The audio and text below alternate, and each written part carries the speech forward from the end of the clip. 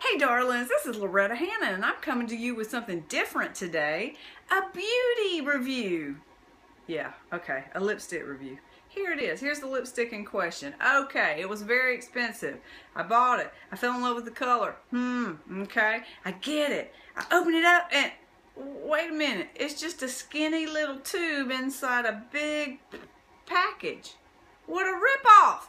And then I said, uh-huh, I know exactly what this is. This is this company shooting every sucker like me, shooting a bird to anybody who paid what I paid for this lipstick for a tiny amount of lipstick. This just shooting the old bird to the buyer. Well, you know what I have to say to that? Bam! Bam! Bam! Don't get ripped off, people.